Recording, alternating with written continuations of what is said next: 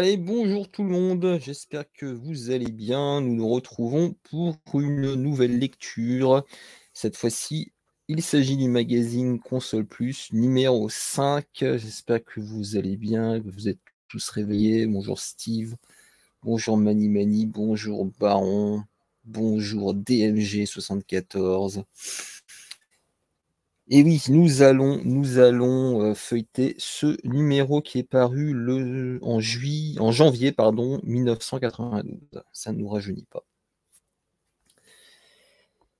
Avec, euh, avec en couverture Robocode. Tout un programme. Donc, que voit-on sur la couverture? Donc, ça parle de Super Famicom. La Super Famicom importée officiellement en France Micro Kids, l'émission qui grandit, grandit. 20 minutes d'actualité explosive sur FR3. Et oui, on disait pas France 3 à l'époque. Et puis un peu plus bas, spécial Japon, Soul Blader contre Spirit Phalanx. que du beau. Euh, salut Baron, un petit café, voilà. Installez-vous confortablement. Salut Kenshiro. Salut Herbert. Allez, ne perdons pas de temps. On va voir ce qu'il a dans le ventre. Celui-là, honnêtement, je m'en souviens plus de ce, magazine. Alors, on va pas regarder euh, dans le détail les tests. On regardera ça plus tard. On commence tout de suite avec Saul Blader ou Saul Blazer. Voilà, qui est présenté en preview. Alléluia L'Enix nouveau est arrivé. Cet éditeur japonais nous avait proposé une petite merveille au moment de la sortie de la Super Famicom de Nintendo, de parler de Actraiser. À l'époque, cette cartouche dévoilait de façon éclatante les capacités de la nouvelle console. Le jeu possédait un des scénarios les plus riches qui soient et mêlait étroitement arcade et jeux de réflexion. Là encore, les auteurs ont voulu proposer un jeu malin qui fasse plus appel à l'intelligence du joueur qu'à ses réflexes. Il ne s'agit plus seulement de créer son monde, comme dans Actraiser. Ce jeu-ci s'inspire plus de programmes d'aventure-action tels Zelda ou Tensetsu. La visualisation en vue aérienne plongeante reste très proche de celle de Zelda. Voilà. Donc il détaille ensuite les combats, les donjons, les objets, en cas de combat, l'arcade reprend ses droits. Deux niveaux de vie apparaissent en haut de l'écran, celui de votre personnage et celui du monstre à liquider. Il y aura effectivement euh, des pièges, des cachettes à découvrir et des énigmes à résoudre. Donc c'est également du lourd. Énorme, nous dit euh, Baron Rétro. Ensuite, alors Là, on reste dans l'énorme avec Contra Spirits. Regardez-moi cette belle preview, ces belles photos. Konami nous propose avec cette cartouche une adaptation du Coin Up qui est sorti il y a quelques années. Ça commence très très fort cette preview avec, euh, avec une erreur. Donc le jeu n'a rien à voir, enfin n'a rien à voir. Bien sûr qu'il est inspiré des jeux d'arcade précédents, mais là pour le coup c'est une exclusivité. Il vous place dans la peau d'un Rambo armé jusqu'aux dents qui va affronter une multi foultitude d'adversaires dans un univers post-apocalyptique. Deux joueurs peuvent rejoindre leurs forces pour affronter les innombrables dangers et pièges qui les attendent. Chaque personnage peut ramasser des bonus qui les transforment en armurerie ambulante. Le joueur, suivant le type de danger qu'il a affronté, changera d'arme, du fusil mitrailleur au lance-flamme en passant par les lance-grenades, une arme très utile. Voilà. Une des caractéristiques de ce jeu est de permettre aux joueurs de tirer à peu près dans toutes les directions, selon un principe très proche de Midnight Resistance. Oui. Référence du genre, en tout cas à l'époque.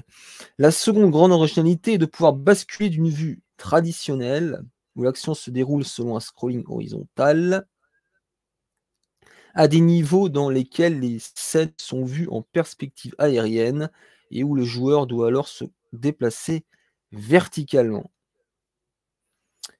Alors, c'est pas exactement ça, mais bon, c'est une preview. Hein, ils avaient, je pense, peut-être pas assez d'informations. Sachant que bah, c'était la caractéristique de cette série hein, depuis les débuts. Il y a toujours des phases euh, dans, des vues différentes que celles de base. Là, cette fois, c'est elles exploitaient le mode 7. Les graphismes du jeu sont convaincants. Ils sont un peu sévères quand même. Oh, ça va, ça passe. Ça passe. C'est pas. Voilà, c'est pas. Mais ça passe. C'est convaincant. Les décors sont basés sur des couleurs un peu ternes. ah, ils adoraient ça. Hein, Console Plus, c'était soit trop terne, soit trop sombre qui renforce l'aspect monde désolé du jeu et lui donne une certaine unité.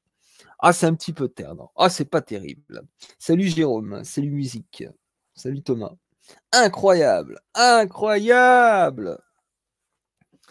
Est-ce que vous êtes d'accord pour dire que ce jeu est terne? D'ailleurs, je crois qu'ils n'ont pas testé euh, Contra en version japonaise, ça ne me dit rien du tout dans console plus, il faudrait vérifier. Je sais que dans Min Machine, ils l'ont testé. Et bizarrement, le test en version japonaise, je crois qu'ils l'ont testé en version US, je crois. Peut-être. Enfin bref, peu importe. Ensuite, Phalanx.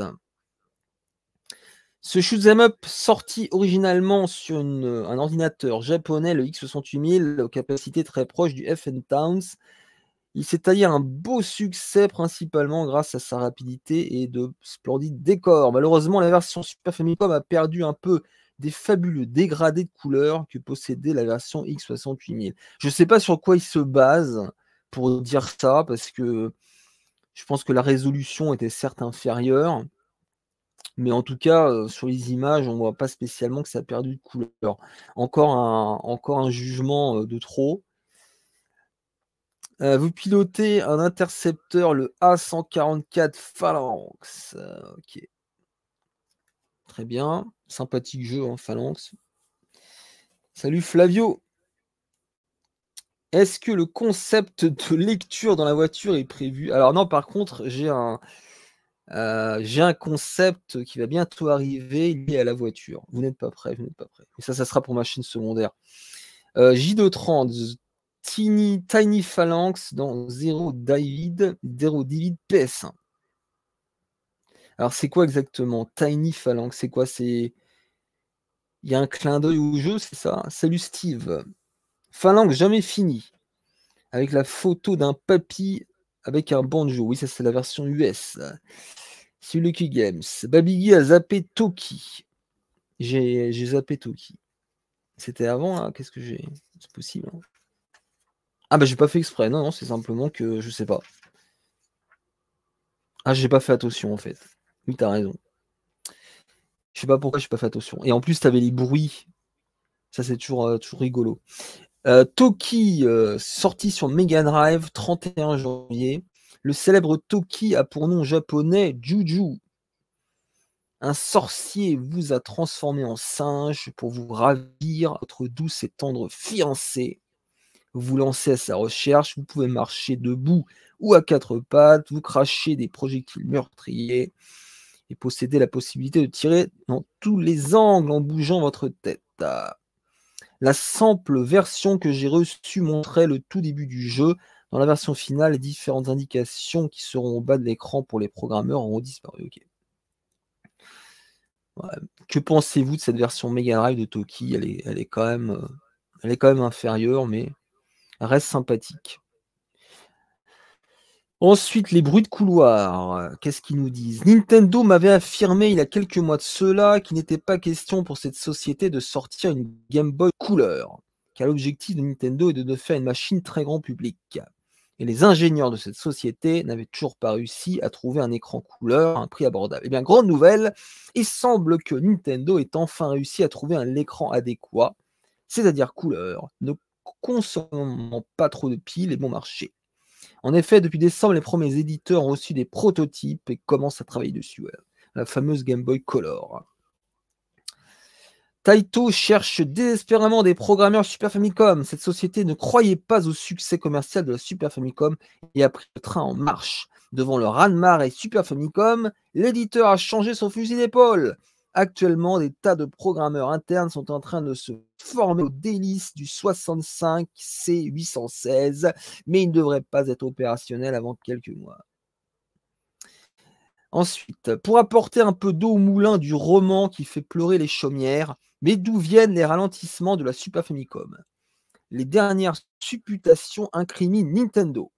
Après avoir mis en cause la compétence des programmeurs, après avoir mis en cause des différences de fréquence entre le processeur principal et les coprocesseurs, voilà que la dernière thèse qui circule incrimine un des nombreux bugs de la machine.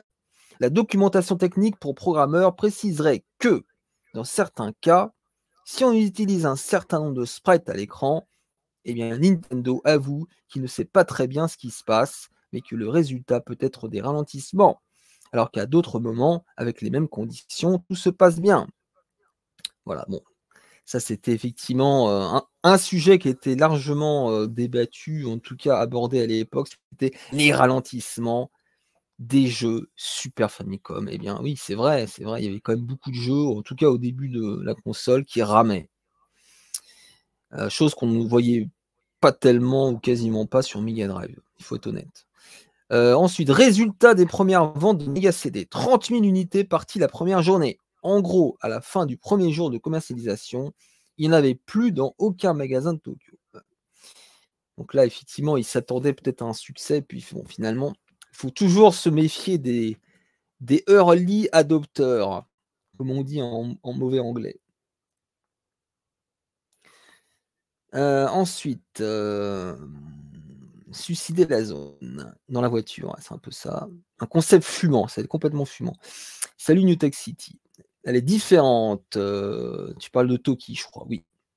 c'est sûr qu'elle est différente, on est d'accord. Secourir sa fiancée dans un jeu en 2024 est impensable exact. C'est impensable. C'est même irresponsable. On est d'accord. Aujourd'hui, c'est l'homme. C'est l'homme qui délivre. plutôt non, c'est la femme qui délivre, qui délivre l'homme, et pas l'inverse. Très terne, comme juste. C'est, il est moins bien quand même. Hein. Franchement, quand tu passes de l'un à l'autre. Euh, Franchement, il est, il est très terne. C'est vrai qu'il n'est pas très joli. Après, il est maniable, il n'y a pas de problème, ça se joue bien, mais tu perds un peu le punch de la version arcade. La version arcade est très défoulante. Bon, c'est lié au bruitage aussi, mais sur Mega Drive, c'est un peu plus pépère aussi. Euh, bonjour Cozy. Mega CD Suite, Sega a prévu quatre formats de BIOS. Un pour l'Europe, un pour les USA, un pour l'Asie, un pour le Japon. Ok. Pour quelle raison tenter de contrôler plus étroitement les ventes et casser les reins des magasins qui font de l'importation parallèle? Les méchants. Super Fantasy Zone, la version Mega Super Fantasy Zone est superbe et haute en couleur pastel. Voilà, chaque monde contient un ou plusieurs gardiens qu'il faut vaincre avant de passer à une planète différente. La version Mega Drive est belle et amusante. Elle n'a que deux défauts. Les niveaux sont trop courts et le jeu est trop facile. Je l'ai terminé en moins d'une demi-heure. Ensuite, on a 91, le palmarès des tilts d'or. Qu'est-ce qu'on avait? Donc, euh, une soirée de gala que même les Américains nous envient. C'était le 2 décembre dernier au Cirque d'hiver à Paris. Et tous les fabricants, tous les éditeurs, tous les programmeurs, tous les journalistes étaient là pour la grande messe des jeux sur micro et console. Connaissez-vous le palmarès des meilleures cartouches? Le voici. Alors, Castle of Illusion, meilleur graphisme.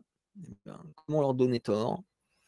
Shadow of the Beast sur Master System, meilleur jeu d'action, d'aventure-action, eh ben, il faudrait que je me penche sur cette version Master System d'ailleurs. Euh, Final Match Tennis, meilleure simulation sportive. Super Ghoulson Ghost, meilleur beat'em all. Ok, il classe ça dans les beat'em all, très bien. Ah, pourquoi pas Pourquoi pas, au point où on en est. Ensuite, Spriggan, sur PC Engine CD-ROM, meilleur shoot 'em up. Sonic, meilleur jeu de plateforme et Tilt d'or. Oui, ça je m'en souviens effectivement. Sonic a reçu le Tilt d'or. Shining the Darkness, meilleur jeu de rôle. Populous, meilleur jeu de stratégie. Dr Mario, meilleur jeu d'action-réflexion. Et Lemmings, jeu le plus original. Voilà, le, palmarès. Salut Hakim. Salut euh, Jérôme. Il est dur, ouais, en arcade, ouais. Bah, c'est du, c'est, du Ghost. Hein.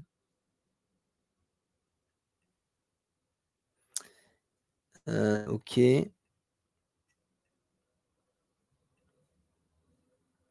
Très bien. Super Ghost Ghost, One CC, que... mais absolument pas, je l'ai One CC. N'hésitez pas à aller sur Drink One CC, les amis. Qu'est-ce que tu. Tu mens, le Game? J'ai fini par le One CC ce jeu. D'ailleurs, le lendemain, le lendemain du live, je me souviens encore, je me suis levé à 7h du matin. J'en avais tellement gros sur la patate que. Et du premier coup, je l'ai One CC. Comme quoi, j'étais vraiment pas loin. Enfin, la Super Famicom officiellement importée en France. Ça, pour une bonne nouvelle, c'est une bonne nouvelle. Nintendo s'est enfin décidé à nous faire profiter de sa fameuse console 16 bits. Tout de suite quand même. Vous devrez attendre avril prochain pour la voir apparaître sur tous les rayons. Comment s'appellera-t-elle? Super Famicom? Super NES Super Super? Franchement, nous ne savons pas. Mais l'information la plus importante, c'est le prix annoncé 1490 francs. Mesdames, Mesdemoiselles, Messieurs, enfin comptez 1500 francs, c'est plus juste. Quoi qu'il en soit, cela fait tout de même environ 800 francs de moins que le prix actuel de la Super Famicom en import parallèle. Je sais pas pourquoi ils rajoutent toujours parallèle. On a l'impression que c'est des mafieux, tu sais. Euh, une économie parallèle, euh, l'infort parallèle on prenait des risques à l'époque, hein, quand, on, quand on achetait des jeux en import. Ah, on mettait, on mettait le doigt, on mettait le doigt dans, la mafia. Hein. On peut d'ailleurs imaginer que le prix de la console ira encore baissant. N'oubliez pas que la Mega Drive avait commencé aux alentours de 2500 francs, puis était tombée à 1800, puis à 1200, et qu'elle ne coûte plus aujourd'hui que 1500, 1500, que 950 francs. Un avenir, radieux semble donc se dessiner pour la Super Famicom qui devrait bientôt se placer en vraie et solide concurrente des autres 16 bits, savoir aussi bien la Mega Drive que la PC Engine chorégraphique. Nya nya nya, c'est pas une vraie 16 bits, c'est une 8 bits. J'attends ça dans les commentaires bientôt. Non, ça c'était plutôt il y a quelques années. Maintenant, les gens se sont un peu calmés avec ce débat. Ensuite, il y a un hic quand même. Pour les possesseurs actuels de Super Famicom japonaise, Nintendo affirme que la console française ne sera pas compatible avec les cartouches japonaises. Tu m'étonnes. La protection sera-t-elle hard à cause de la forme du logement de la cartouche, comme sur Mega Drive française, ou sera-t-elle soft, c'est-à-dire intégrée au système de la console ou à l'intérieur de la cartouche? D'ailleurs, c'est pas. Là, je vais faire mon professeur Chanteau, c'est pas tellement correct comme formulation. Pour moi, hard, c'est plutôt au niveau euh, de, des composants de la console plus que physique. Il faudrait dire la protection soit-elle physique, hard ou soft? Ah, je suis mon petit professeur Chantos là. Euh, mystère. Seule consolation, l'espoir de voir arriver enfin des chefs-d'œuvre comme High en français, le nouveau Zelda, très bien. Dernière surprise, Nintendo annonce la commercialisation simultanée d'un adaptateur 8 bits c'est-à-dire pour les cartouches de la NES. Alors ça, c'est drôle parce que finalement, ça n'a jamais été le cas, en tout cas à ma connaissance. On sait, on croit savoir que la Super Famicom avait été équipée dès sa conception des processeurs nécessaires à cette compatibilité. Certains leur attribuent même la responsabilité de quelques ralentissements dans les animations des cartouches 16 bits. En tout cas, l'adaptateur séduira vraisemblablement bien des possesseurs actuels de NES. Bon, voilà. Ça, c'est apparemment, ça a été abandonné, je ne sais pas d'où. Euh, autant pour moi, j'ai le somme à l'état pur. Oui, alors ça c'était du somme, oui. Euh, on a échoué à cause des timers au dernier niveau. Ah, non, je crois pas que c'était le timer. Non, non, simplement j'avais mis. Ah, peut-être, t'as raison, oui. C'est possible c'était le timer, oui. Ouais, j'étais dégoûté, ouais. J'étais dégoûté. La bonne époque de shoot again. On se battait pour les jeux port. J'en ai mis des coups de couteau dans cette boutique. le fameux, le fameux Porsche euh, de, République où certains se vantaient d'avoir fait les poches de gamins. Est-ce que vous vous souvenez de ça? Là où il y a toujours un clodo et, où ça sent la pisse. Ah, il y avait des thugs à l'époque. C'est pas une vraie 16 bits. ça, c'est insupportable. je n'en peux plus ces débats de merde. Je n'en peux plus ces débats de merde, sans déconner.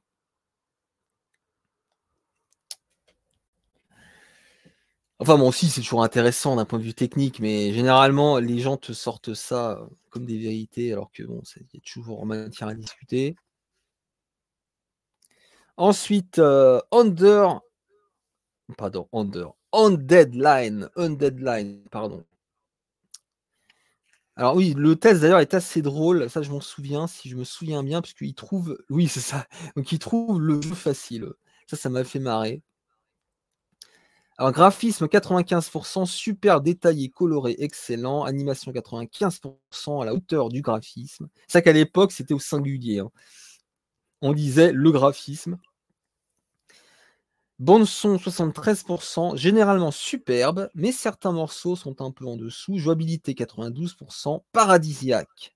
Votre héros se dirige au doigt et à l'œil, arrosant l'adversaire d'un déluge de fer et de feu. Durée de vie 75%. Le jeu est dans l'ensemble plutôt facile et plutôt court. Intérêt 90% à cause d'une certaine facilité. ça, ça me tue ça. À cause d'une certaine facilité, c'est un petit méga c'est vrai qu'il est particulièrement facile on deadline. Alors, c'est vrai qu'un deadline n'est pas aussi dur qu'il n'y paraît, parce que c'est un petit peu le type de jeu qui place une grosse barrière à l'entrée, mais qui au final, euh, bah, quand on est bien équipé, honnêtement, ça va, hein, il, est, carrément faisable. enfin, de là à dire qu'il est facile, il ne faut peut-être pas déconner non plus. Alors, qu'est-ce qu'il disait? Commentaire La réalisation de Deadline est superbe.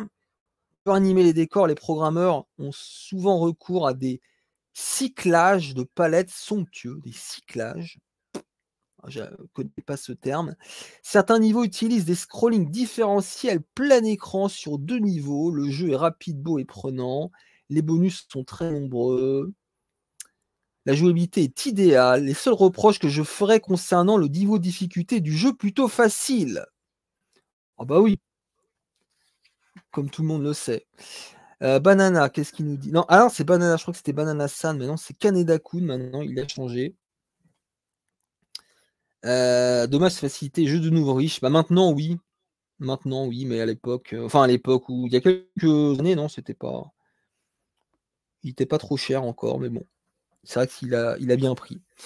Waouh Ce jeu est fabuleux Dès les premières secondes, on en prend plein les gencives. Ça bouge dans tous les sens, les couleurs sont nombreuses et splendides. L'environnement sonore est particulièrement soigné. La première chose qui frappe est la qualité des décors, qui tranche avec certaines productions sur Mega Drive, aux couleurs ternes et limitées. Ah, décidément, ce, ce terne, on le retrouve partout, mais on le retrouve aussi sur Super Famicom d'ailleurs. Undeadline propose des paysages fins et détaillés. Chaque environnement est basé sur un thème différent traité en vue plongeante et graphiquement excellent. La seconde bonne surprise vient de l'animation. Le scrolling plein écran est impeccable. Et le jeu comprend une...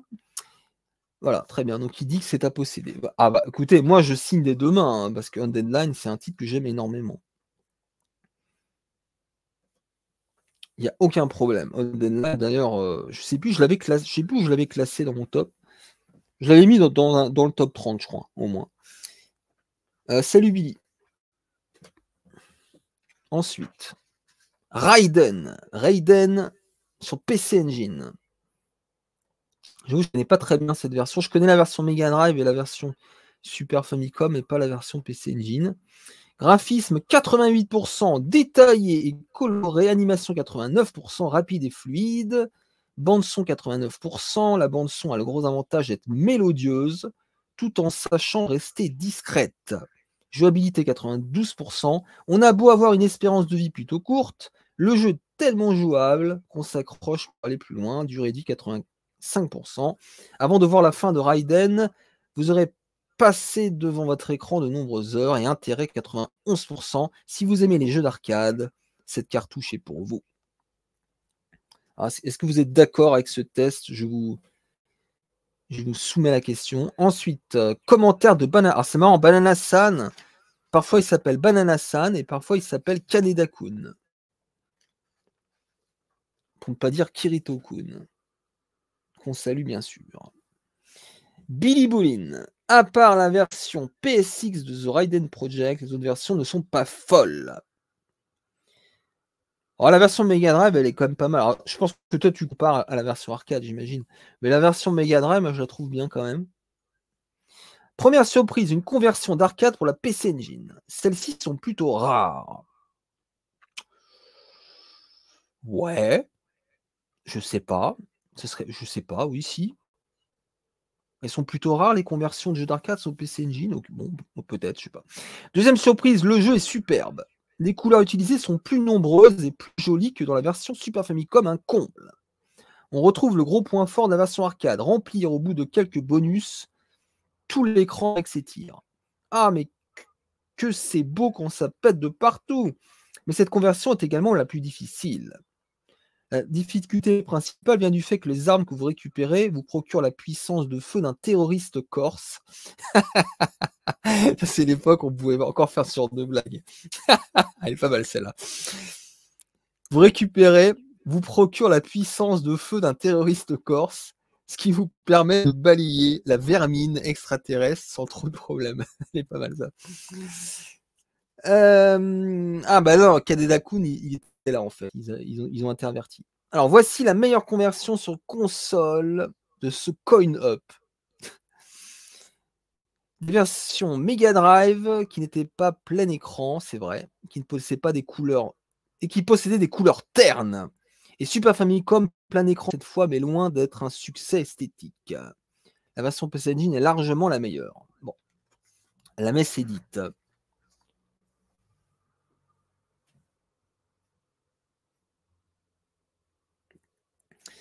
Raiden Trad, ça peut aller. Mais on est en deçà la version arcade.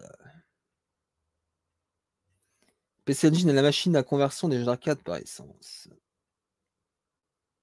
Ah, ils en disaient de la merde quand même à l'époque, mais bon, soyons, tolérants. Alors ensuite, euh, Fighting Masters, qui est une daube. Hein, euh, objectivement, c'est une daube. Mais enfin, ils nous mettent 72%.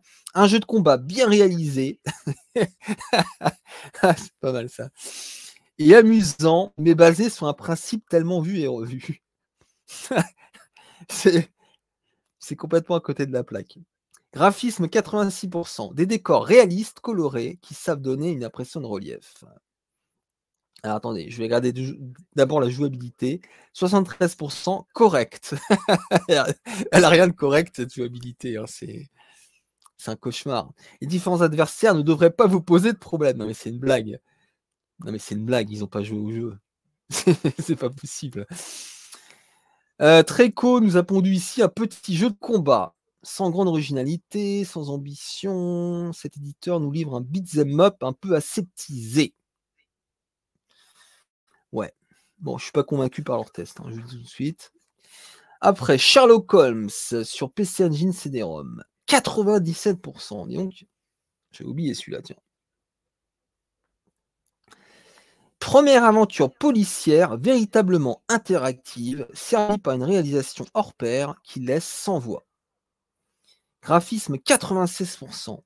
Tant les digitalisations d'acteurs que les croquis complémentaires apportent à l'enquête un réalisme jamais atteint. Eh ben. Alors, qu'est-ce que nous dit Spirit? J'ai été complètement fasciné par ce programme. Les séquences digitalisées sont prodigieuses de réalisme et peuvent durer plusieurs minutes. Bien que l'animation soit quelque peu hachée, environ 10 images secondes, la synchronisation entre l'image et la parole reste toujours parfaite. Ajoutez à cela que les scènes sont remarquablement jouées. Les décors et les costumes d'une grande richesse rendent parfaitement l'époque victorienne. Voilà, donc à ne manquer sous aucun prétexte. Si vous, êtes amateur d'enquête policière, très bien. Alors, est-ce que quelqu'un connaît ce Sherlock Holmes? Ouais, c'est gage de qualité, c'est moins qu'on puisse dire. On leur pardonne, ils étaient jeunes, ouais. Ils n'étaient pas tous jeunes, hein, mais bon. En tout cas, ils nous prenaient pour des cons, ça c'est vrai. Non, écoute, je suis un peu dur, mais. Ensuite, Burning Fight, le meilleur beat'em all jamais créé, comme vous le savez. Graphisme 70%. Mais ça, c'est tellement abusé, quoi. 70% les graphismes. Mais je dis pas ça parce que c'est sur Neo Geo, mais c'est franchement, même aujourd'hui encore, c'est l'une de ses qualités, selon moi.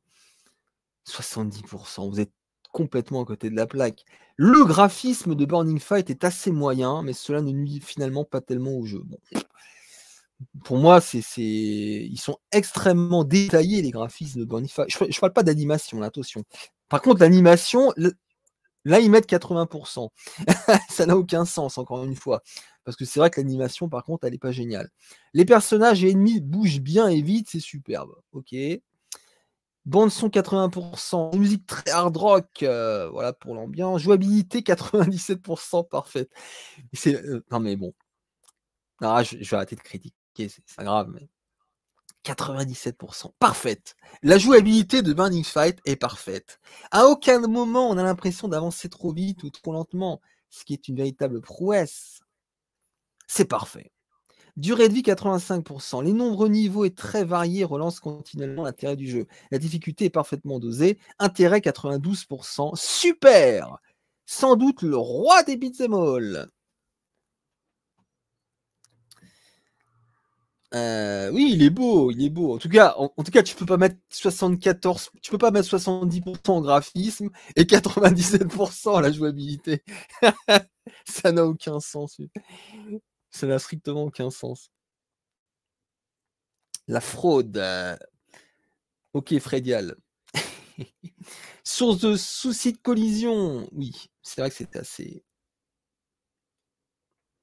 Ensuite, ah, qu'est-ce qu'ils nous disent? Il y avait Magician Lord. Il y a maintenant Burning Fight. La Neo Geo dispose enfin de bons jeux. Putain, cette violence. Ah, j'étais pas prêt là pour le commentaire. Attendez, je vous refais là. Il y avait Magician Lord, il y a maintenant Burning Fight. La Neo Geo dispose enfin de deux bons jeux. ça. C'est tout simplement l'éclate. Les graphismes sont plutôt ratés.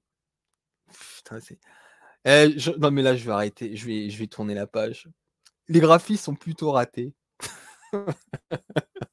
je sais pas, non, mais je sais, je sais pas ce qu'ils font là. Euh, mais le fun est là. Vos personnages réagissent au doigt et à l'œil. Les coups sont suffisamment variés. Les monstres, les monstres sont impressionnants.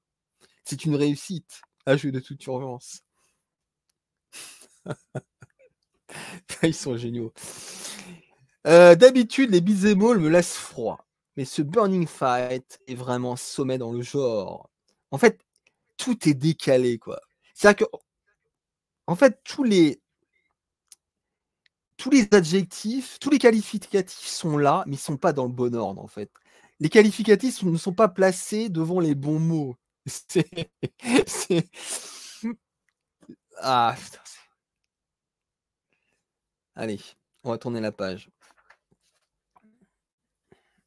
Les monstres. les monstres sont bien animés. Euh, oui, bah oui, mais ils sont. Ah, mais ils étaient drôles. Ils étaient drôles. Euh, salut The Nice Anime Girls Archive. Je me laisserai jamais de revoir tous ces magazines, surtout avec vous les gars, ouais. Et surtout, alors moi je dois dire, hein, euh, honnêtement, le truc que j'aime le plus finalement avec le recul dans ces magazines, c'est la mise en page et c'est le design des magazines. c'est ça mon kiff en fait. C'est même d'un point de vue esthétique. Je sais pas, après c'est peut-être que moi, mais, mais, moi je trouve ces magazines vraiment beaux. Euh, c'est ça que j'aime bien regarder en fait. Salut le petit pixel. C'est test IA, ouais. C'est vrai qu'il y, a un peu d'IA avec ça. Loulou a fini sa carrière après ce test. Ah, non mais c'est drôle quand même. Alors Speedball 2. Alors je sais pas, il y a quelqu'un qui m'avait dit que Speedball 2 sur Mega Drive était meilleur que sur Amiga. Non, peut-être pas quand même. Peut-être que je m'enflamme. Mais il y a quelqu'un qui m'avait, en tout cas à minima, qui m'avait dit que c'était une excellente version.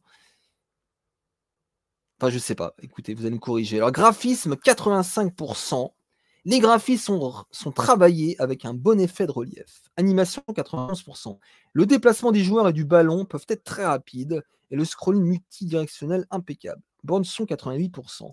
Bruit de la balle qui rebondit, cri de la foule, impact des coups, digitalisation sonore de l'arbitre. Quelle ambiance Jouabilité 89%, contrôle des équipiers parfait, mais les buts auraient pu être mieux identifiés. Durée de vie 92%, seul ou à deux, le jeu est prenant et on ne lâche pas de sitôt. Intérêt 91%, un des meilleurs jeux de sport sur la Mega Drive, indispensable dans votre bibliothèque. Est-ce que vous êtes d'accord? Euh, La maquette, c'est le terme d'ailleurs. Maquette, sympa, oui. Allez, non, mais franchement, les, premiers numéros, ils sont magnifiques. Après, il faut rappeler, hein, encore une fois, hein, c'est pas pour faire le professeur Chantos, mais c'est Mine Machine. Hein. C'est un magazine anglais, en fait, à la base. Donc, ils ont, ils ont repris, en fait, leur même, euh, leur même maquette. Salut, euh, salut Ezekiel. Eh ben, écoute, euh, bonne, bon après-midi à toi, Ezekiel, merci. Speedball 1 est meilleur que le 2. D'accord. Le gameplay est beaucoup plus simple et fun. Très bien. Je le possédais, j'ai rien compris. Je l'ai vendu deux semaines après. L'effet Killing the Blog. The Blood, ouais. Ça, c'est un, traumatisme pour beaucoup de gens. 2 sur 10, nous dit, Takeshi. Trop nul, ok, bon, je sais pas. Vous avez suivi la polémique rétro-scoring Oui.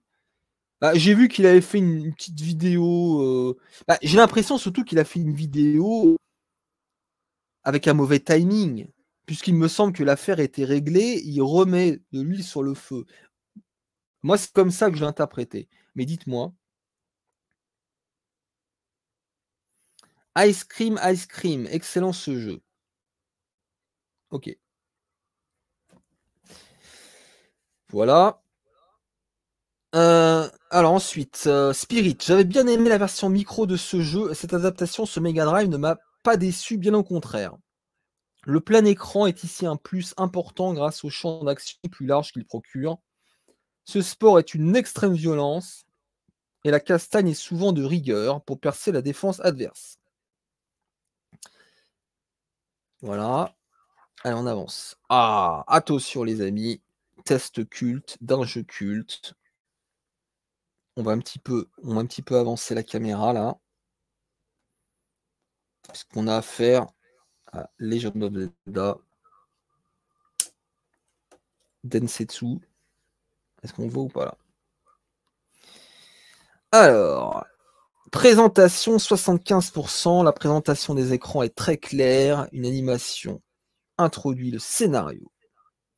Graphisme 92%. Un style particulier et une réussite esthétique totale. C'est un peu violent sur le 92. Alors évidemment, c'est, on va dire que c'est assez simpliste, mais pour un, je que pour un action RPG ou, un RPG en général, euh, il est magnifique. Animation 93%, superbe. Il n'y a que de voir vos personnages descendre un escalier. Moi, ça m'avait marqué aussi ça. Le soin du détail apporté aux petites animations comme ça. Bande son 91%. La bande son a été très travaillée. Chaque scène possède une mélodie différente et souvent splendide. Jouabilité 97%. Aucun jeu d'action-aventure arcade n'a été aussi loin que Zelda dans la jouabilité. je ne sais pas ce que ça veut dire ça. Durée de vie 95%, vous en aurez largement pour votre argent. Et intérêt 96%, un chef-d'œuvre passionnant. La preuve éclatante que Nintendo n'est pas seulement un des meilleurs dans la construction de consoles 6 bits, mais également dans la programmation de jeux. Eh oui. Euh, je les trouve tatillons méga force quand même. Oui, par contre, ça, ça qu'à la base, j'ai trouvé ça dégueulasse. Après, ils ont fait, ils ont fait du rétro-pédalage. Euh, mais moi hein, je ne veux pas diffamer, mais il me semble qu'à la base, ils avaient évoqué l'idée, ou en tout cas, ils avaient demandé de retirer les scans. Ça, je crois c'est complètement euh, factuel. Mais dites-moi, parce que je n'ai pas non plus suivi ça dans le détail. Soul Blader est, plus beau, je trouve. Ah, moi, je préfère euh, Zelda, Zelda 3. Shibro. Chibromaster, pas mal, pas mal ce pseudo. Sympa, c'est revu de mag, merci. J'ai eu la chance d'avoir Burning Fight sa sortie ainsi que d'autres. Je confirme, c'est une daube. Je parle du test, évidemment, et comme très souvent. Et pourtant, crois-moi, Chibromaster, hein, j'aime bien Burning Fight. J'ai beaucoup d'affect pour ce jeu, mais je reconnais que c'est un jeu moyen bon. Voilà, je suis pas de ceux qui vont dire que c'est un très bon jeu. Mais à l'époque, c'est vraiment se foutre de la gueule du monde. C'est vraiment. Euh, surtout que je rappelle que Final Fight n'était pas sorti correctement sur console. Donc faire, euh, faire la fine bouche comme ça, c'était ridicule. Euh, je parle pas évidemment, attention, hein, je parle pas du prix. Bien sûr, c'était payer 1500 francs pour Burning Fight était sûrement trop cher. Ça, ça, ça me dérange pas de le dire. Mais parler des graphismes de cette manière-là, c'est absolument ridicule. En plus, ils font un mélange sur un point. Moins la est haute.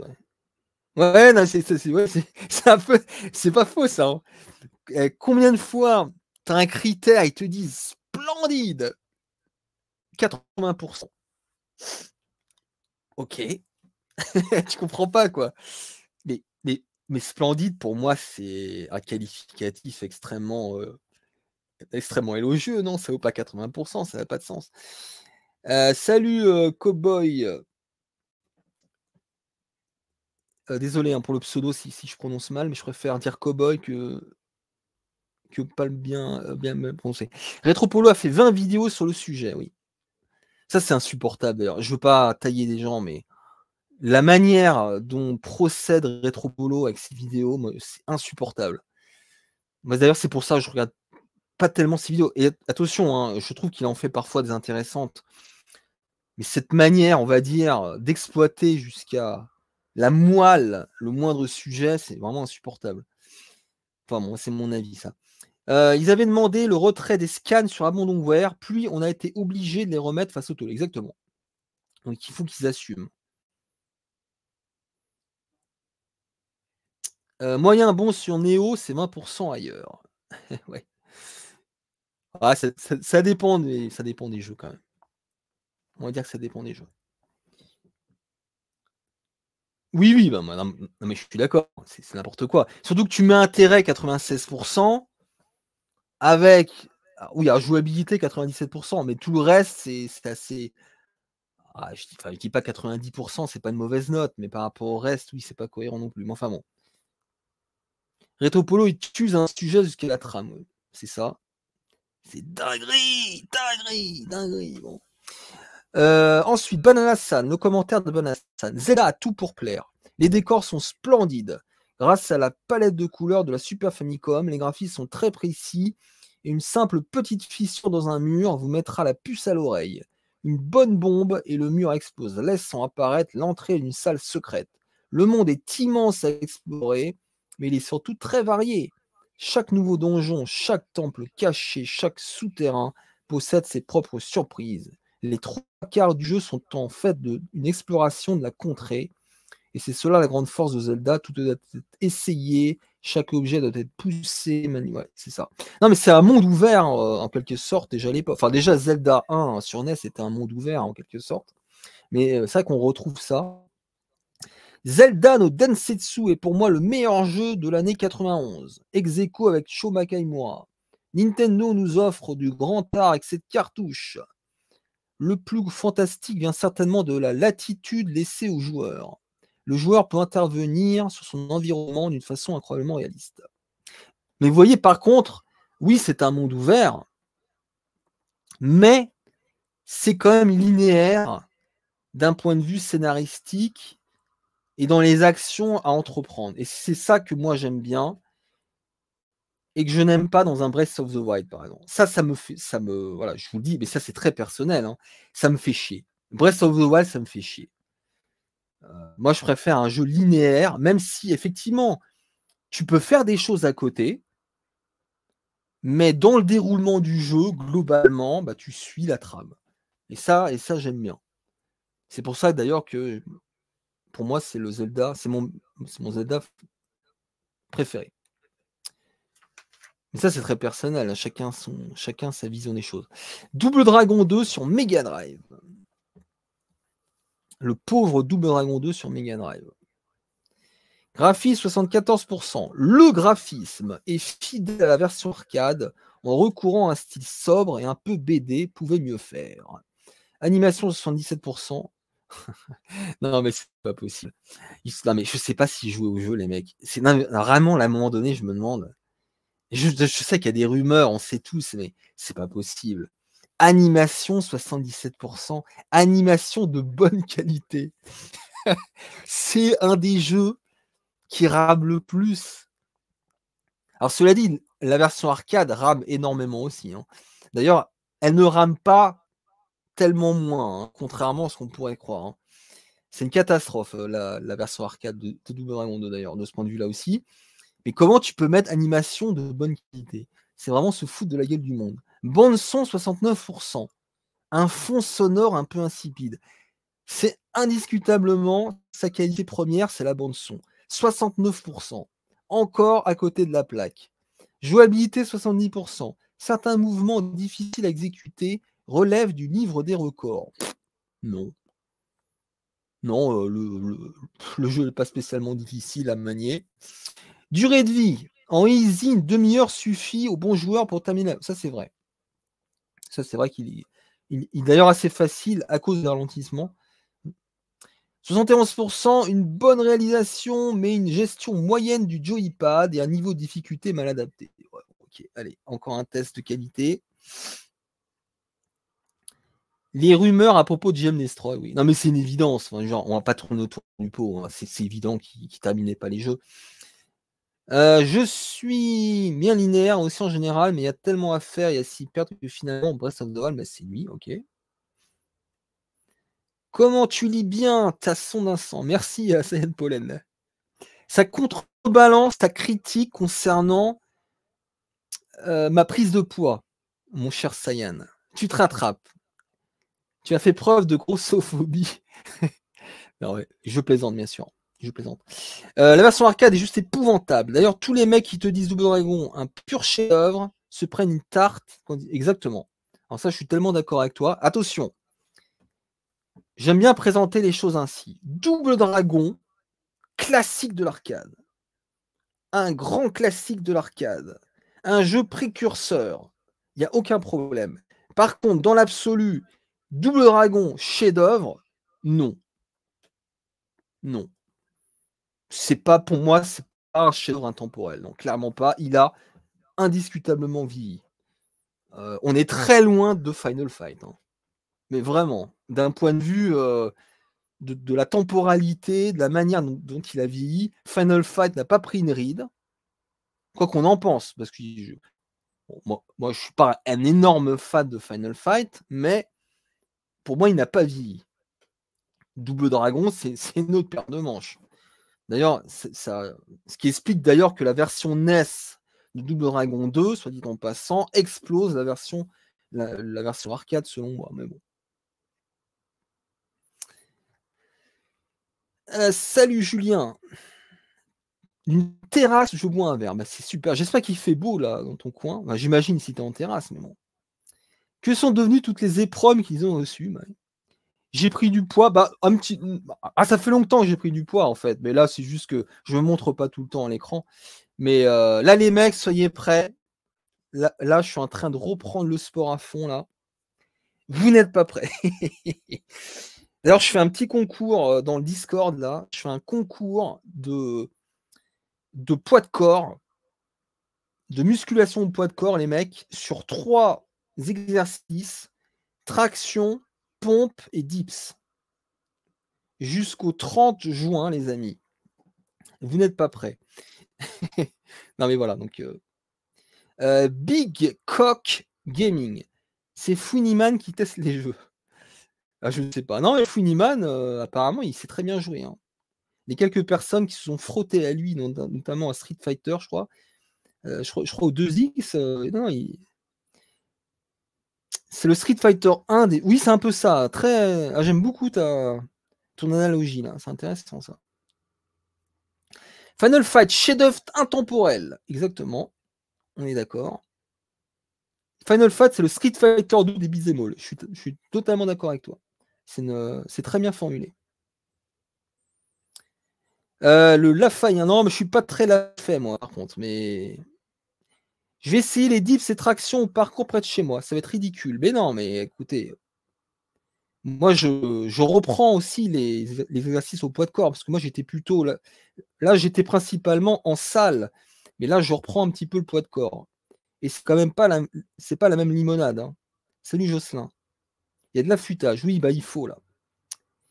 On va se remettre un petit peu en forme, les amis. Allez, on va, on va avancer parce que. Ah, Magical Chase, les mecs. Alors là, ça fait plaisir, ce petit test là. 97%. Le principe de jeu, la difficulté progressive des mondes, l'animation sensationnelle, le scrolling hyper rapide, l'intérêt est presque au max.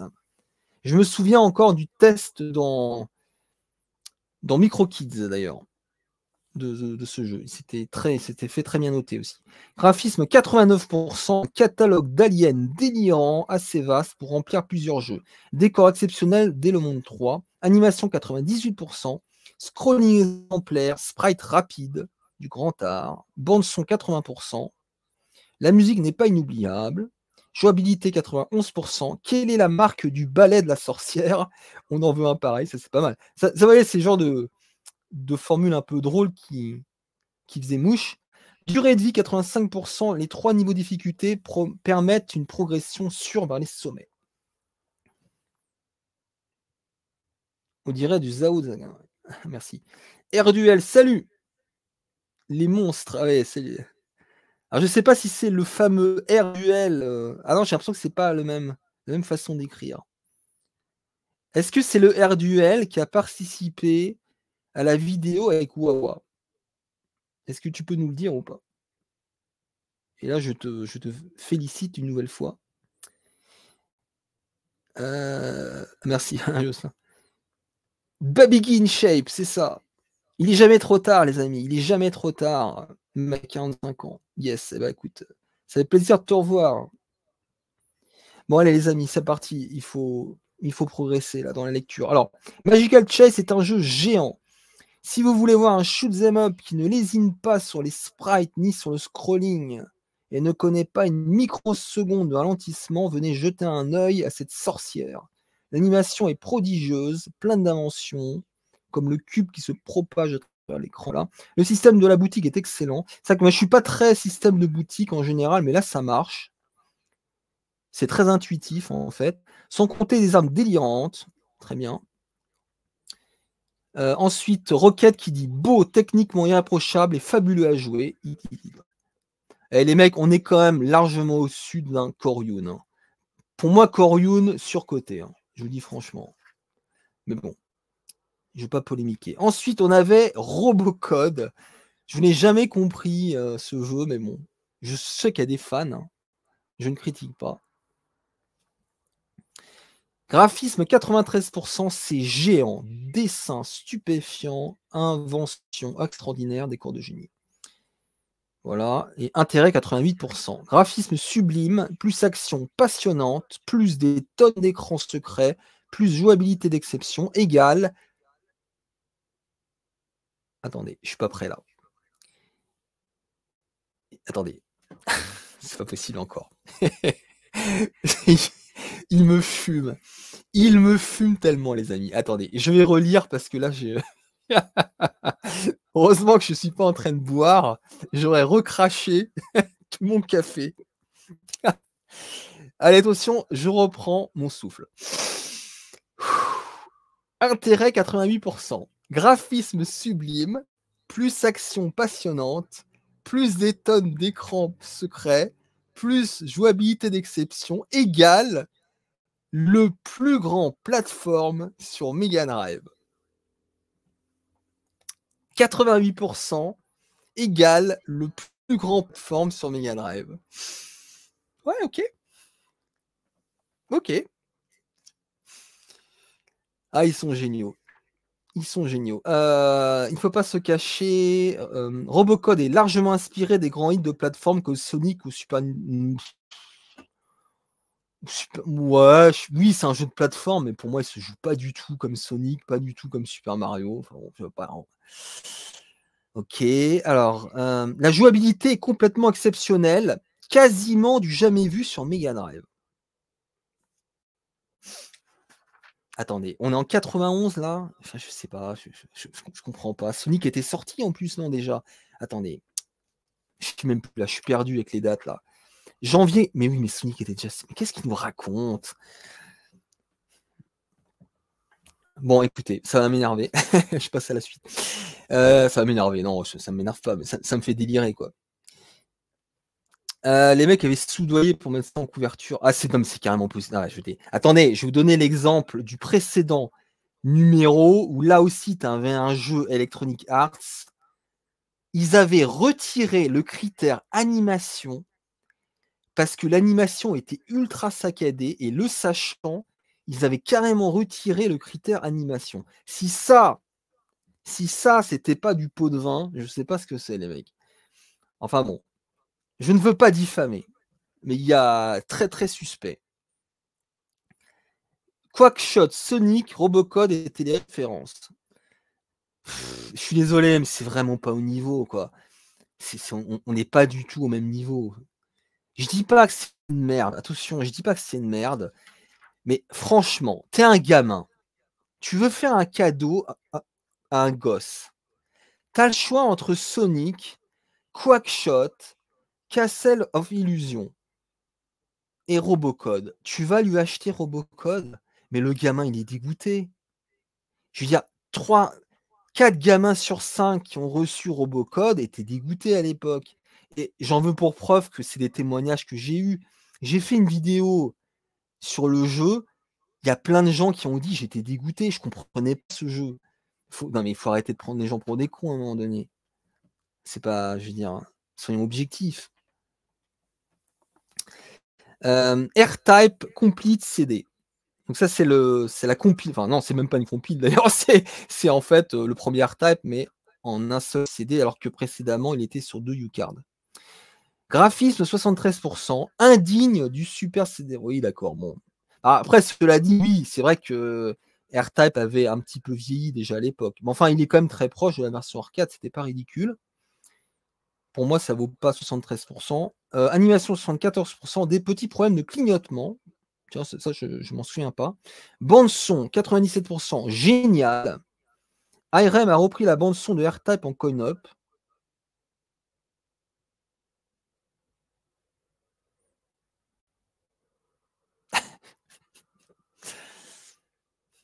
Je sais qu'il faut être tolérant. Je sais qu'il faut être tolérant. ARM a repris la bande son de R-Type en coin Ça n'a strictement rien à voir. c'est pas du tout la même bande son. Pour ceux qui savent pas, c'est juste pas du tout la même bande son. Alors, sauf, pardon, non. Sauf si, et c'est possible, on peut choisir, peut-être qu'on peut sélectionner la bande son de base. Et dans ce cas-là, je présente mes excuses. Et à mon avis, quand il parle de bande son, je suis sûr qu'il parle de la musique de base, et donc celle qui est remixée, qui n'a rien à voir avec celle d'Arcade. Enfin bon. Tournons la page. Il faut dire que je possédais déjà Sonic et Quackshot. Oui, d'accord. Ça, oui, ça, ça, non, mais ça, Jérôme, attention, je peux comprendre qu'on ait apprécié le jeu. Niveau level design en comparaison, oui, enfin, selon moi aussi. Hein. Salut Technosoft. Je suis d'accord. Je suis d'accord, mais bon, après, il a des qualités, hein, ce Robocode. Euh, salut Takeshi, si tu t'en vas en tout cas.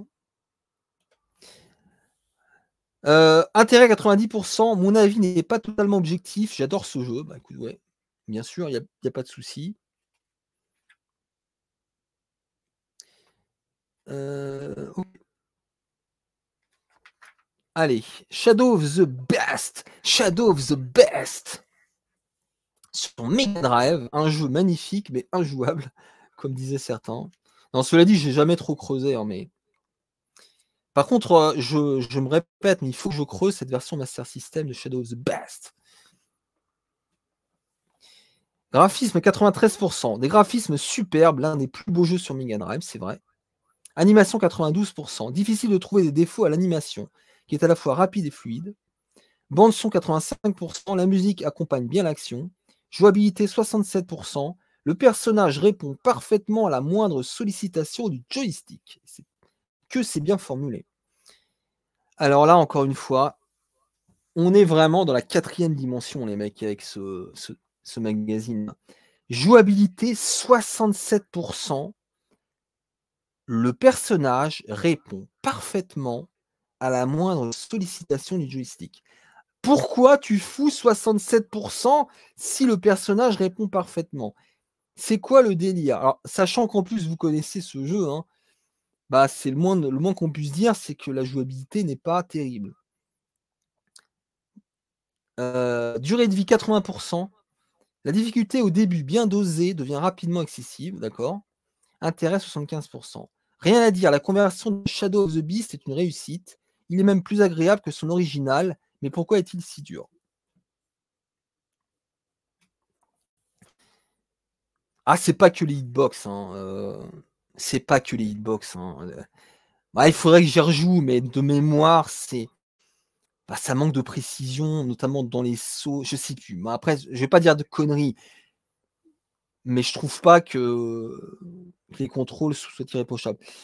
Commentaire. C'est beau, beau, mais pourquoi trop dur? Pourquoi diable il n'y a pas une option continue? Ce jeu est tout simplement impraticable.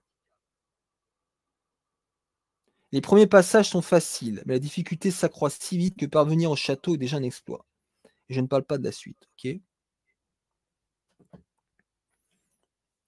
Le level design est pourri aussi. Faut l'enlever les cartes des journalistes. non, mais soyons pas trop durs, les amis. Enfin, je dis ça et puis à chaque fois je les taille, mais tout ça c'est révolu, hein, c'est du passé. Euh, alors ça c'est intéressant. Prince of Persia sur PC Engine CD-ROM. Je, ne connais pas cette version. Est-ce que quelqu'un peut, confirmer? Apparemment très bonne version. Intérêt 94%. Un superbe jeu d'aventure action qui n'a pas pris une ride depuis sa sortie sur micro il y a plus d'un an. Et ça, c'est vrai qu'il est beau en plus. La conversion PC Engine de ce superbe jeu d'aventure-action ne m'a pas déçu, bien au contraire. On retrouve la remarquable qualité d'animation qui reste une référence dans le domaine de l'animation bitmap. Les graphismes ont été améliorés par rapport aux versions micro et la bande-son dispose d'une musique très bien choisie. Très bien. Ok. Alors, est-ce que vous êtes d'accord ou pas? Rolling Thunder 2. Alors, ça aussi, un jeu de, c'est un jeu de cœur me concernant. Là, pareil, j'avais été marqué par le test et marqué par le test dans MicroKids aussi. Graphisme 83%. Les graphismes sont jolis, mais paradoxalement, les éléments qui les composent sont assez peu détaillés. C'est très vrai. Je crois que c'est la première fois que je lis un commentaire qui est à 100% pertinent. Là, c'est totalement vrai. C'est oui, c'est vrai qu'il est plutôt joli mais c'est pas très détaillé. C'est assez simple. Mais ce qui n'est pas forcément un défaut, d'ailleurs, ça lui donne du charme. Ensuite, animation 87%. Les mouvements sont correctement rendus et assez diversifiés. Et le scrolling avec parallaxe, excellent, oui. Moi, j'aurais peut-être précisé aussi que les étapes d'animation sont un poil chiche. Ils sont, sont pas assez nombreuses, on, pourrait critiquer ce point-là. Bande son 81%, la musique est jolie les bruitages d'action réalistes, mais pas assez variés. Euh, ça, je m'en souviens plus honnêtement de la bande son là. Jouabilité 89%, très bonne, en dépit des petits problèmes signalés par Jimmy. Alors, je sais pas de quoi il parle. Le jeu d'une grande variété, le système de code évite des découragements et intérêt 90%. Une fois que l'on a commencé, il est bien difficile de s'en détacher que l'on joue, seul ou avec un ami. Alors Spirit, qu'est-ce qu'il dit? Bien qu'il n'apporte rien de nouveau dans le genre, Sonor 2 est très agréable à jouer. La réalisation est à un bon niveau sans être exceptionnelle pour autant. Les graphismes sont souvent jolis, mais gagneraient à être plus fouillés. L'animation est rapide et riche, mais les mouvements intermédiaires sont un peu restreints. Bah, eh, Spirit, c'est un bon le Spirit. Moi j'ai l'impression, à mon avis, euh, s'il faut mettre en avant un testeur de l'époque, c'est Spirit. Je suis d'accord avec lui. En revanche, le scrolling multidirectionnel est très fluide et complété d'un superbe, scrolling parallaxe. Ouais, très bien, très bien. très bon test. Je suis d'accord avec lui. Ouais, c'est ça. Shinobi Like, on est d'accord. Après, attention, il est sorti quand le premier? Attendez. Tiens, ça c'est une bonne idée. Rolling Thunder. Il est sorti quand le premier? Attendez. Soyons précis, les amis. C'est vrai que parfois, ça se joue à quelques mois près. Hein. Rolling Thunder 86. Et Shinobi, je, je m'en souviens plus. Et non. Et non, c'est pas Shinobi-like, mec. C'est pas Shinobi-like. Rolling Thunder est sorti avant Shinobi. Eh oui. Donc c'est Rolling Thunder qui a, posé le genre. Selon moi, hein, parce que moi c'est un genre très particulier selon moi. Euh, des jeux d'action sur deux plans où on peut switcher d'un plan à l'autre et chaque plan est indépendant de l'autre. C'est-à-dire que les ennemis peuvent vous tirer dessus, mais par contre, euh, vous ne pouvez pas sauter. Si vous sautez, vous n'allez pas atteindre la plateforme du haut. Il faut effectuer une action supplémentaire. Ce qui lui donne un, côté très très particulier. Voilà, c'est ça. Donc c'est ce que dit euh, dit Arduel. Donc euh, non. Donc Shinobi, en fait, il faudrait dire Shinobi est un Rolling Thunder-like, vous voyez? Ah, alors je dis pas, peut-être qu'il y a eu un jeu avant Rolling Thunder déjà sur le même genre. Enfin après, voilà, celui qui a démocratisé ce genre, c'est Rolling Thunder. Euh, Super Adventure Island. Alors, encore du lourd les amis. 83%, ok. La première tentative d'Obson sur Super Famicom est un succès. L'aspect trop classique. Un, un seul reproche. C'est vrai qu'il est très classique, mais c'est un jeu très sympa. il faudrait que je le teste ou que je fasse une vidéo. J'en ai pas beaucoup parlé, mais moi je l'aime bien ce Super Adventure Island. C'est vrai que c'est très classique. C'est vraiment du, du platformer avec, c'est vrai, un level design très old school, mais il est sympa. Et puis, vous, le savez, la, bande son, putain, bande son 78%. Oh là là, mais qui sont pénibles, mais qui sont pénibles. Il n'y a rien qui va encore. Et moi, je vous. Attendez. Je vais vous formuler une thèse, les mecs. À chaque fois qu'il y a Banana San, le test est à chier. Non, mais là, je vais commencer à croire que c'est Banana San, en fait. À chaque fois que je vois Banana San dans un test, c'est claqué au sol.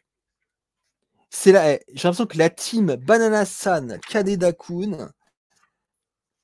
Ah, attendez, faudrait vérifier. La, la fight, pas vraiment. Non, ça dépend des jeux. ouais, mais alors, vraiment, bon. Alors, Shinobi a apporté des boss et des bonus stages. Rolling Thunder n'avait pas. Ok. Ah, je savais pas qu'il n'y avait pas de boss euh, dans Rolling Thunder. Ok. Tu m'apprends un truc. Est-ce que les notes. Oui, oui, non, mais, oui, mais c'est vrai, attention. Alors, je ne sais pas jusqu'où ça va. Peut-être, non, numéro 5, peut-être que. Non, je crois que numéro 5, c'est plus euh, Mine Machine. Je crois que Mine Machine, après, c'était différent. Parce que, vous voyez, là, j'ai pas mal de numéros de Mine Machine. Et là, je ne reconnais pas les tests. Donc, je pense que c'est plus les mêmes à partir de. Alors, je ne sais pas à partir de quand, d'ailleurs. Ok. Allez, on avance un peu, les amis. Euh, Joe Montana 2. Donc, désolé, alors, désolé à ceux, je ne sais plus qui, euh, qui m'avaient critiqué parce que j'avais osé j'avais osé skipper les jeux de, les jeux de sport sur Mega Drive. Et le mec m'avait répondu Oh, bah, on te laisse tout seul. Hein, euh, si on te dérange. Je suis désolé hein, pour lui, mais je vais quand même passer. Parce que ça m'intéresse vraiment pas.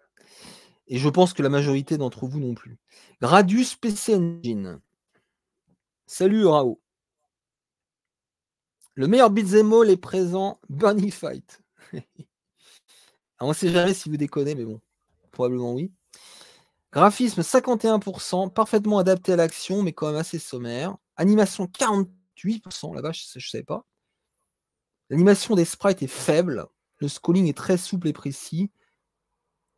L'animation des sprites est faible. Je ne comprends pas ce qu'ils veulent dire. Le scrolling est très souple et précis. Gestion parfaite des collisions. Bon, 48%. Euh, jouabilité 92%, intérêt 70%. Un programme passionnant avec cependant beaucoup de faiblesses. À acheter quand même.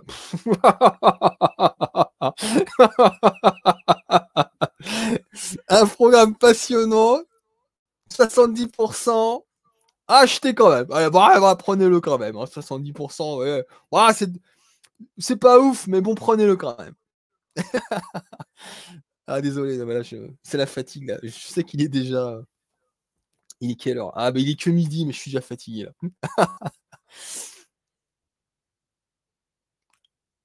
Euh, bref, sans esbrouf. ah, eh, franchement, ce numéro-là, il est bien marrant. Je crois que c'est assez. Ça faisait longtemps que j'avais pas autant rigolé avec un console plus. Celui-là, il est drôle. Il y a des, il y a des pépites là quand même. Hein. c'est de la merde, mais achetez-le quand même.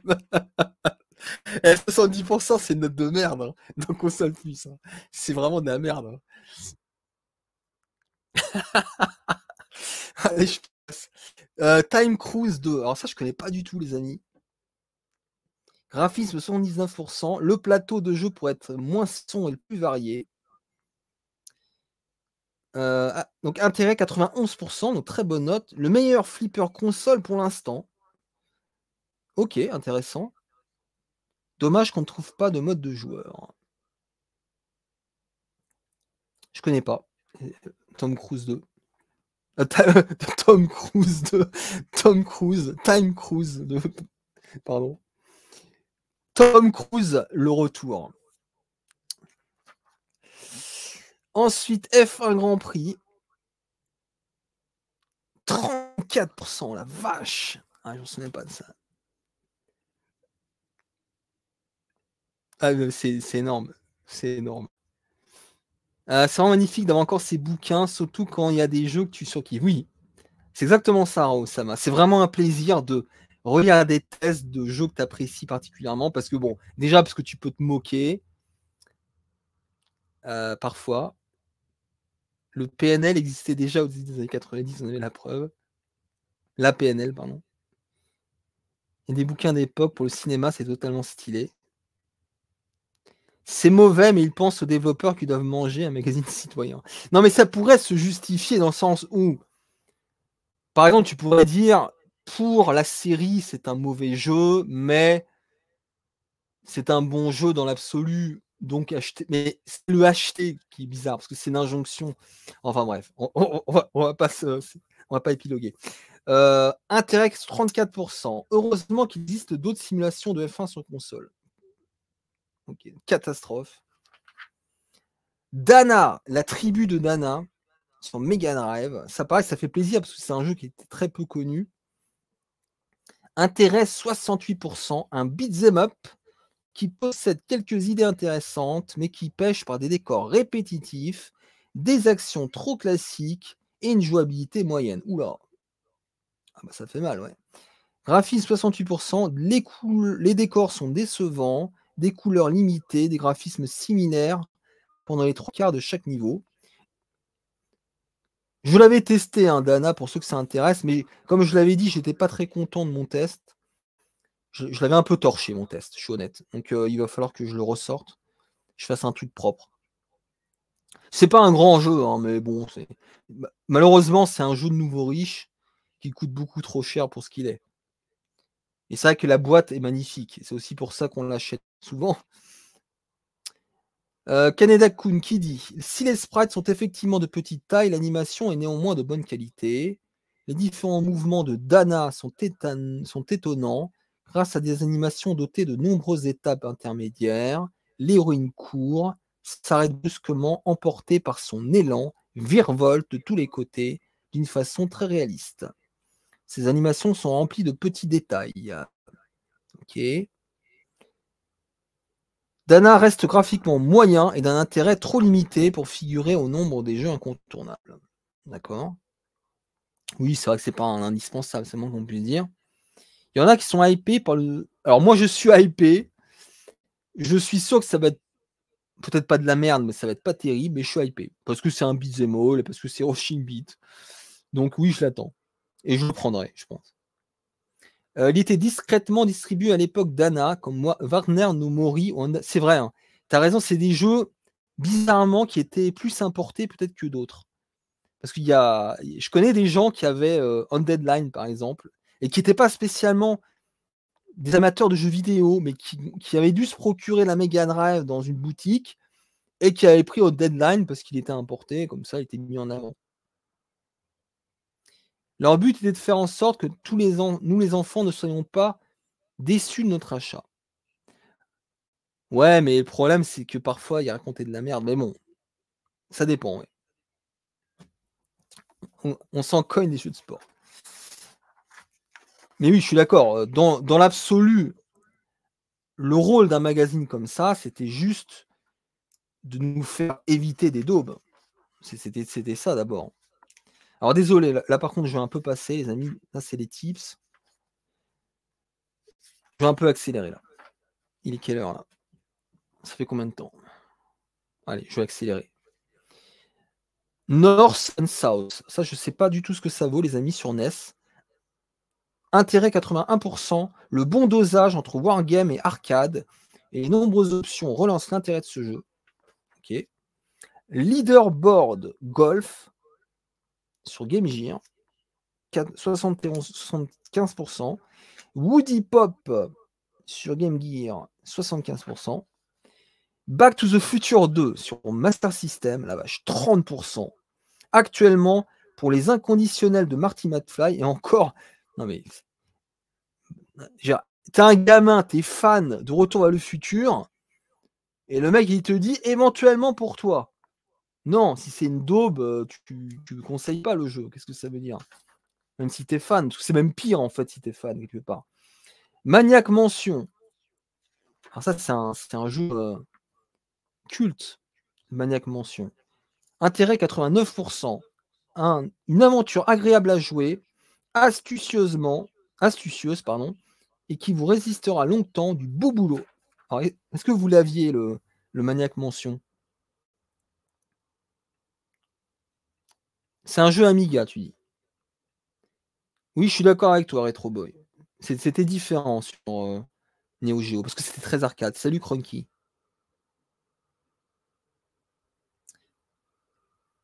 Euh, salut, euh, pardon. salut Mister H. Les gars, combien ça chope le Dead Dance? 20 euros, tu peux le prendre, ouais. Tu parles de, la version Jap? Oui, non, mais 20 euros, ça va. Hein. C'est correct. Managmention, c'était une tuerie. On pouvait y jouer dans Day of Tentacle en se mettant sur l'ordi. Tiens, c'est rigolo. Salut, IT Ultime. Amiga, ok. Allez, on avance. Outrop, pardon, Outrun Europa. Ça, c'est un jeu US Gold. Hein. Intérêt 56% la pauvre Master System. Eh, je sais pas qui disait sur Master System, il n'y a aucune daube. La bise à Ryushi. Il n'y a aucune daube sur Master System. Oui. Oui, bien sûr. Graphisme 62%. Intéresse 56%. De bonnes choses, malheureusement, vite gâchées par des effets 3D ratés et un manque de variété affligeant. Put and Putter, 72%. Hard Driving sur Lynx. Ah, je connais, ouais. Intérêt 98%, les mecs. Qu'est-ce que ça vaut du coup? C'est une excellente version, c'est vrai? Le Driving sur Lynx. J'aimerais bien le voir tourner, ça m'intéresserait. Graphisme 84%. Les décors en 3D surface pleine sont très réalistes. Animation 80%. Tout est calculé à chaque instant.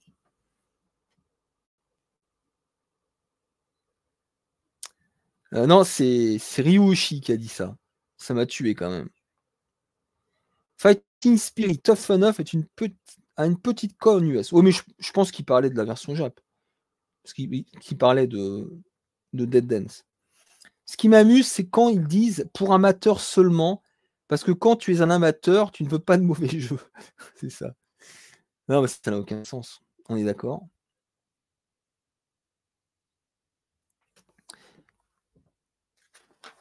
Alors, Low J-Man, j'ai jamais joué à ce jeu et pourtant je le vois régulièrement. Je sais absolument pas ce qu'il vaut. Graphisme 60%. Les graphismes ne sont pas vraiment géniaux. Leur couleur, leur couleur agresse le joueur. Bande son 55%, jouabilité 81%, intérêt 80%. Le jeu ne manque pas d'atouts malgré une réalisation très moyenne. Ses nombreux bonus et nouvelles armes renforcent son intérêt. Je ne connais pas.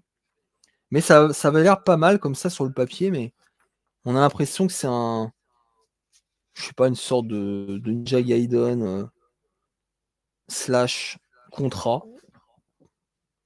Et, et, pourtant, je le connais, j'ai déjà vu plein de fois, mais G-Lock sur Master System.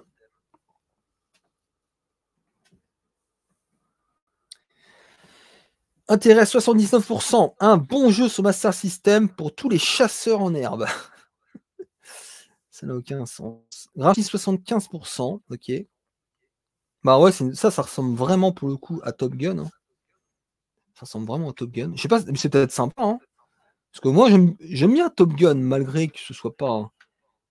Malgré que. Non, c'est pas bon. Malgré le fait que ce soit pas un bon jeu. Defender of the Crown, 54%. Très belle boîte, ce jeu. C'est le genre de jeu qu'on aurait pu prendre à cause de la boîte. Une cartouche intéressante et originale, mais dont les défauts sont trop nombreux pour devenir un grand jeu. Shadow Dancer, 21%. Ça, c'est abusé, par contre.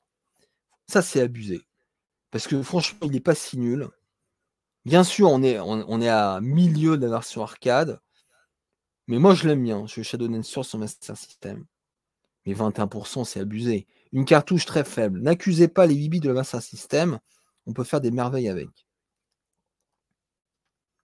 Ouais, je trouve ça forcé là. Je trouve que c'est eh, une des pires notes. Hein. Je me demande si c'est pas la pire note. Shadow Dancer restera jamais dans l'ombre. Elle est bonne celle-là. Aucune innovation, aucun exploit graphique. Ah, c'est moi je trouve quand même. Ah, le problème c'est qu'ils ont fait le choix de conserver les gros sprites de la version arcade.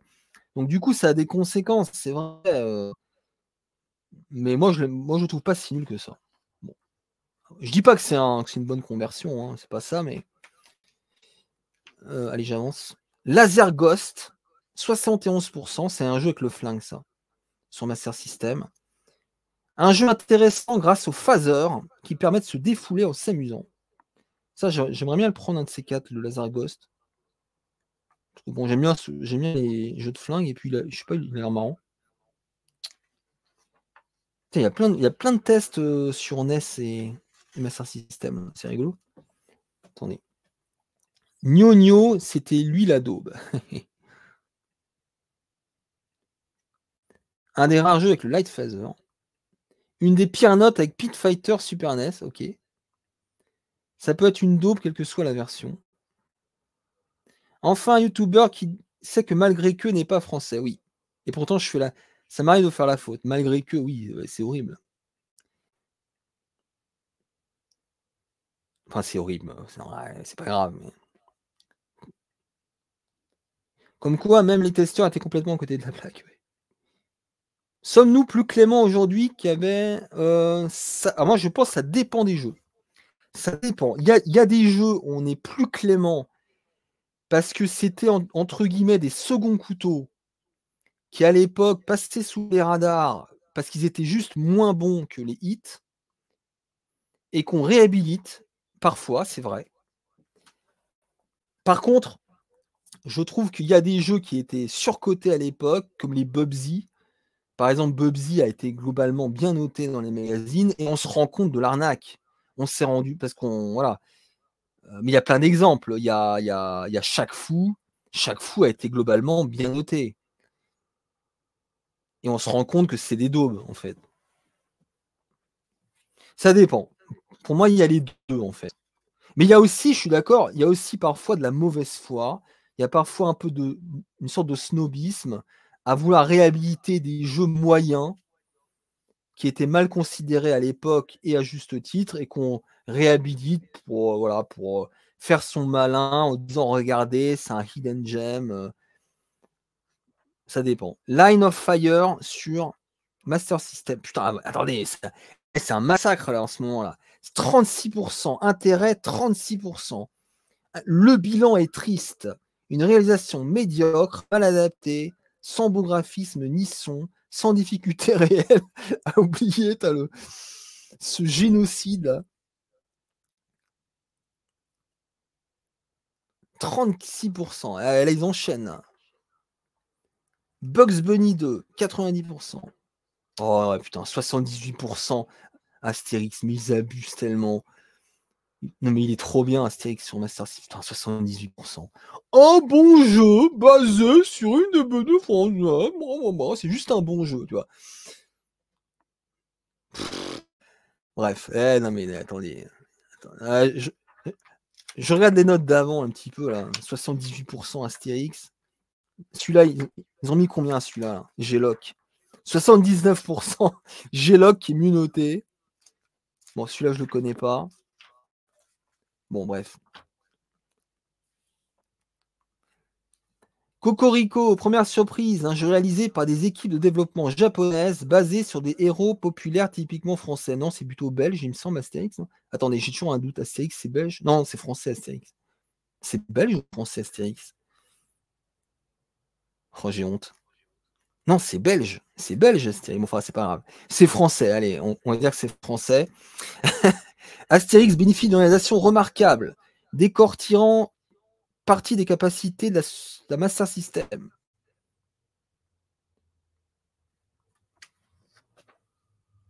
C'est français, Astérix. Ok, pardon. Ah, je suis désolé. là, j'ai honte. J'ai honte, j'ai honte, les mecs. J'ai honte. Non, je m'embrouille. Moi, je suis pas très BD, en fait, c'est pour ça. c'est des excuses de merde. Pardon, pardon. Euh, Astérix est peut-être le meilleur jeu. Oui, franchement, ça me choque pas du tout ce que tu dis. Non, mais, non, mais comment tu peux mettre 78% hein, C'est ridicule. Euh, il est bien en plus Line of Fire. Bah, pour le coup, je connais pas. Hein, je fais pas confiance. Enfin, je te fais confiance. DGX ça a des goûts à discuter des moments. Il fait peur. Je serais chacun des goûts.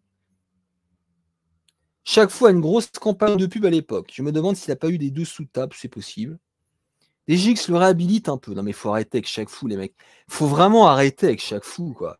J'ai rejoué chaque fou parce que j'ai fait un live avec, je crois que c'était avec Colic ou alors, non, je sais plus si c'était Colic ou Papa Gaming. J'ai vraiment essayé. Hein. mais je veux dire, c'est à chier, quoi. Faut vraiment arrêter avec chaque fou. Il y a des gens qui essaient de, remettre ce jeu sur la scène. Déjà, ça n'a aucun sens. Mais que vient faire chaque fou dans un jeu de combat Déjà, en termes de direction artistique, je trouve ça l'est. Après, c'est vrai que le jeu, entre guillemets, est beau. C'est bien animé. Euh, mais, le gameplay, il est objectivement à chier. Il n'y a pas débat là-dessus, en fait.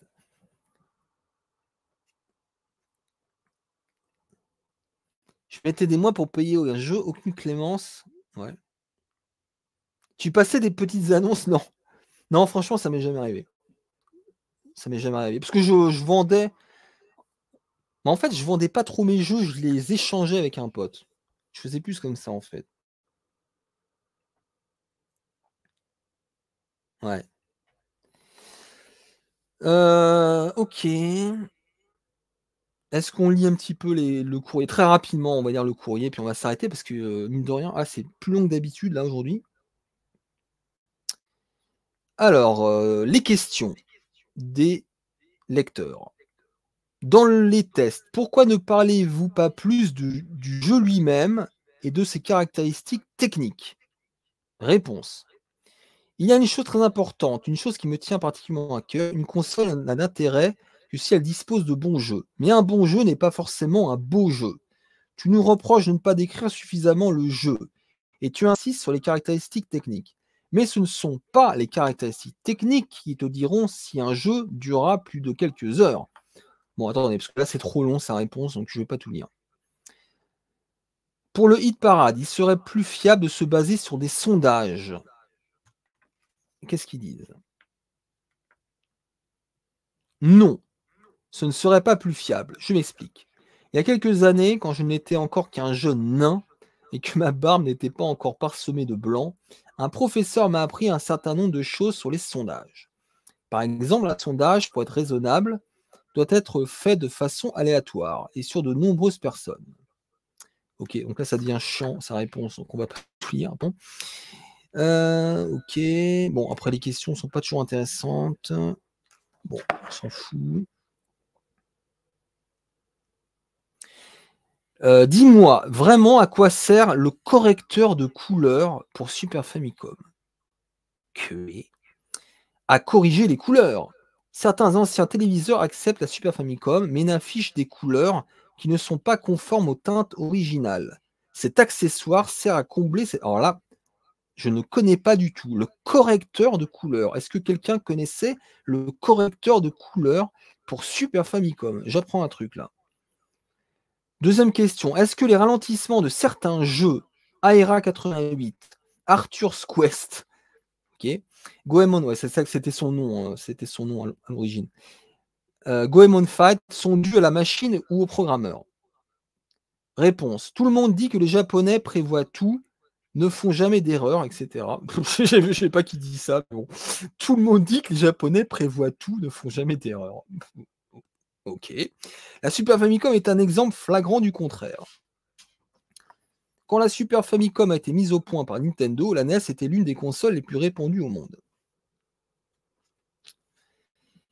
Voilà, toute une armada de je sais pas sœur, mais ce n'est pas toujours pas suffisant.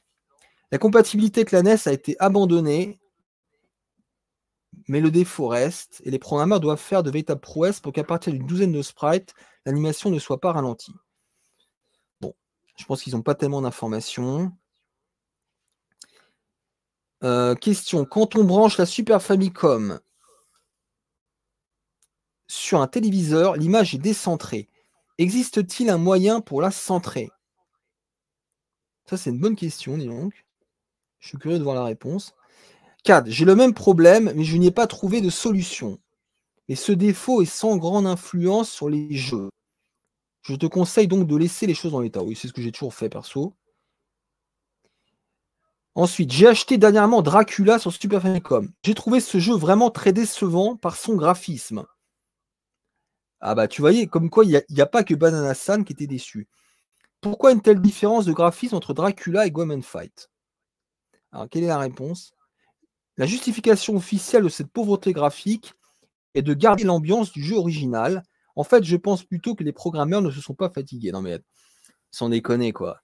Je ne comprends pas. Moi, quand j'ai vu le jeu dans, le magazine, je l'avais pas à l'époque, hein, euh, le, le Akumajo Dracula, mais quand, j'ai vu les graphismes dans le magazine, j'ai trouvé magnifique. Je, enfin, je comprends pas qu'on puisse être déçu, mais bref, ça me fume. Euh, bon, alors écoutez, on va s'arrêter là. Hein. Je pense qu'on a fait le tour. Mais après, c'est les petites annonces. Bon, j'espère que ça vous a plu, les amis. J'espère que ça vous a plu. La rétroactivité de la NES, la Super NES, c'est comme le lecteur CD-ROM. Certains disent que Nintendo n'en a jamais eu. La... Mais tu sais, Billy Bowling, dans, dans les Super Insiders, dès le début, avant même la sortie de la console, ils ont dit qu'ils n'allaient pas sortir cet adaptateur. C'était déjà abandonné. Donc là, tu vois les news, elles sont complètement HS. Alors, c'est vrai que les couleurs, ça c'est le choix des couleurs. C'est vrai qu'il y a des choix bizarres. Il y a des teintes étranges. Mais de là à dire, je sais pas, que c'est terne ou c'est raté, comme il dit, je trouve ça abusé. Enfin, moi, j'aurais vraiment. Euh, j'aurais surkiffé. Euh, les boutiques ajoutent des condos dans la Péritel. Ok. Donc c'est ça le fameux correcteur de couleur. C'est drôle comme terme. Que. C'est le plus grand des pipeaux, le plus grand pipeau des boutiques à import. Bah, je sais pas, ouais. Ah, donc, du coup, ouais. C'est très plaisant tes lectures. Merci Jérôme. Bah, je crois que ça vous a plu les amis. C'est du pur Vaporwave pour l'un et l'autre. Bon bah écoutez, je vous souhaite une bonne après-midi tout le monde et puis on se retrouvera pour d'autres lectures, bien sûr avec plaisir avec vous et avec vos commentaires. Allez, salut.